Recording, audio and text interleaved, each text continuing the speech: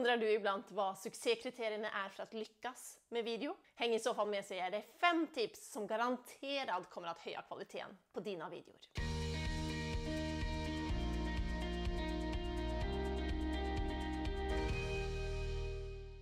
Hej! Tone Bekkestad här, föreläsare, moderator och skapare av onlineutbildningen Sälj med video. Första frågan att ställa sig själv är kanske vilka videor skulle du själv titta på? Vilken stil gillar du? Vad får deg å titta på en video? Og like viktig, hva får deg att hoppa av? Med andre ord, hva får deg att börja att titta på en video for sen att hoppa av några sekunder eller kanskje en minut inn i videon? Og der, gjennom å ställa deg själv de här frågorna, så har du faktisk redan en del av svaret på hva det er som skal til for å lykkes med video. Og her får du ytterligere fem tips til hvordan du får suksess med video. Tips nummer en.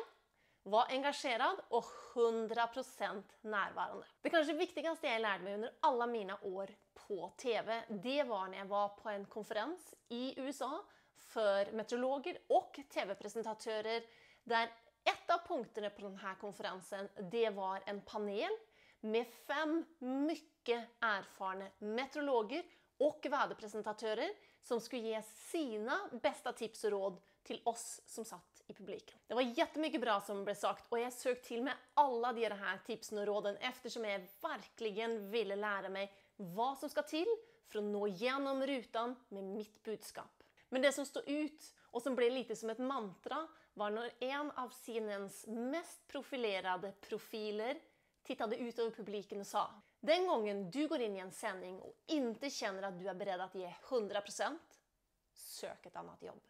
Och det här blev som sagt lite som ett mantra för mig som jag hade med mig inför varje sändning som jag gjorde under alla mina 12 år på TV4. Ge 110% eller hitta ett annat jobb. Så var engagerad och var 110% närvarande under de här minuterna som du sitter eller står framför kameran. Dina tittare, de förtjänar det. Nummer två, vit vem du pratar till. Alltså in i minsta detalj. Vem är din kund? Vilka problem, utmaningar, drömmar, önskar och mål har din drömkund? Och hur kan du hjälpa den här personen att lösa de här problemen, utmaningarna eller snabbare nå de här målen och drömmarna? Här gäller det att du gör ett grundligt förarbete och verkligen, vet vem din drömkund är och hva han eller hun søker efter på Google og Youtube. Jo mer spesifikk du kan være, med andre ord, jo mer du nisjer ditt budskap og din målgrupp, desto bedre er det. Tips nummer tre. Planera dine videoklipp. Hva er det du vil oppnå?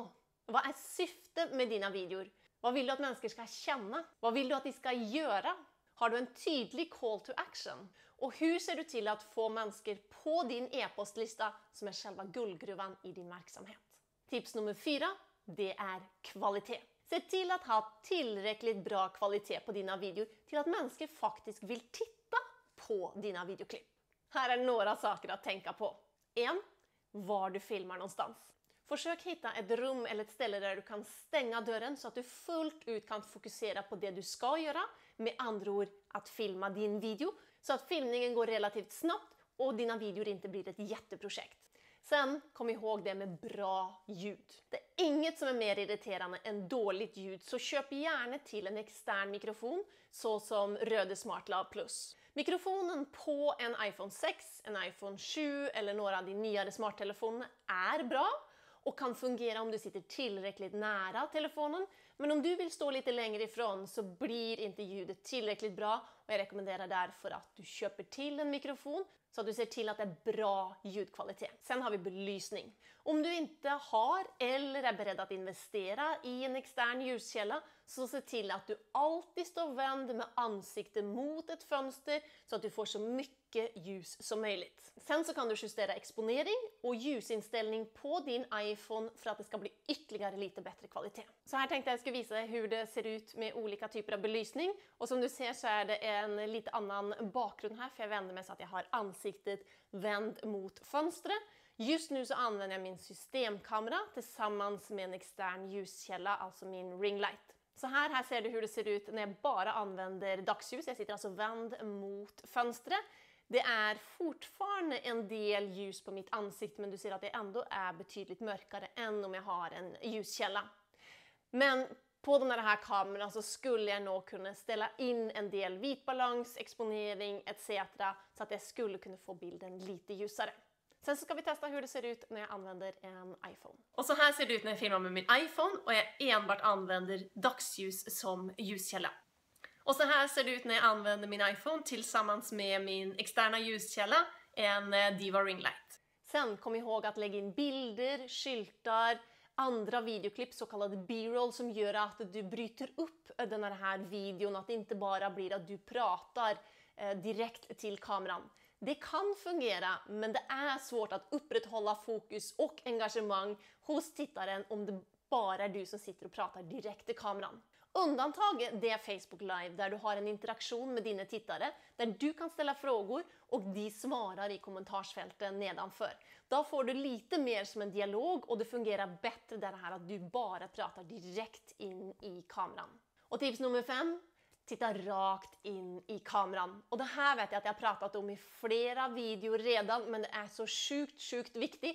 Og jeg ser at det fortfarande er veldig mange som ikke gjør det her. Titta for all del ikke på deg selv. Med andre ord, titta ikke där, men titta inn i linsen. Och jag förstår, du vill så gärna se hur du ser ut medan du filmar och det känns mycket lättare när du pratar till någon fast det bara är dig själv du ser där i kamerabilden. Men det är alltså så oerhört viktigt att du tittar rakt in i linsen för att titta på den personen som du pratar till så att du skapar den här kontakten och kan börja bygga en relation med den som sitter på andra sidan. Så glöm inte, titta rakt in i linsen så att vi kan skapa en kontakt.